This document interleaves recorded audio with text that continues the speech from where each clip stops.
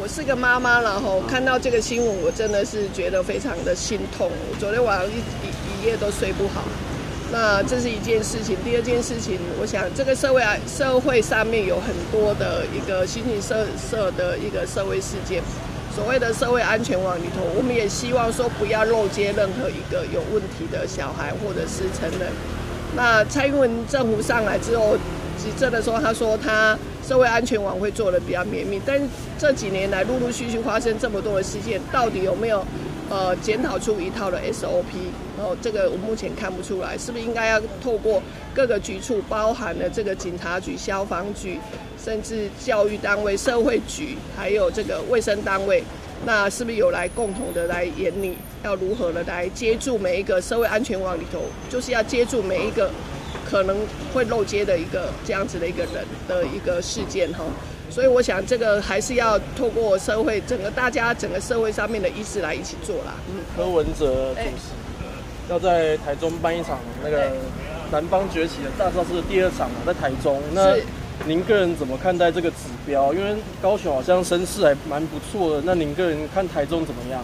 呃，我当然是期待台中这一场应该也是办得不错，因为呃冈山那一场是我跟陈清茂呃一起发起的嘛，吼，因为大家都会觉得说柯文哲的陆军是不是过了浊水溪就没有陆军，所以我们就决定在高雄办一场。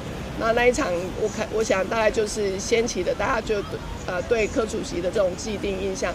所以大家就会开始加嘛，说是在台中办一场。那台中，我想台中市区有两百八十四万人口，再加上彰化中彰头，将近这样子有将近四百万人口，我想这应该会更聚集更多的人来。那也大家欢迎那个十二月三十号大家一起来。决战中台湾的意味吗？当然啦，每次的大选都是决战中台湾，然后所以中台湾这边是一个非常重要的指标。喂，你那天晚上是不是在在大甲那边有做？对我个人，十二月三十号在那个甲安普有一场造势活动，那五点到七点，七点结束之后，我会我还是会赶过来的。会对对，哎。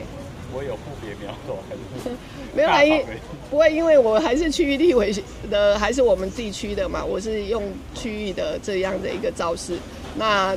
呃，大台中呢来讲，它应该是号召的是全国性，甚至中章投简包含全国性的这样子的一个，大家一起来响应。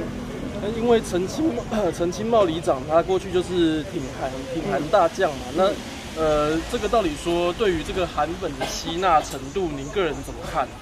呃，大家有最近有在讨论哈，到底是这个科粉、韩粉还有郭粉？因为冈山当时我们是定位就是就是三粉嘛，哈。但是我想，大概大家都是爱中华民国他派的啦，嘿，所以大家会聚集起来，也是希望，呃，明年能够正南轮替，那希望中华民国越来越好。嗯，好，谢谢，谢谢。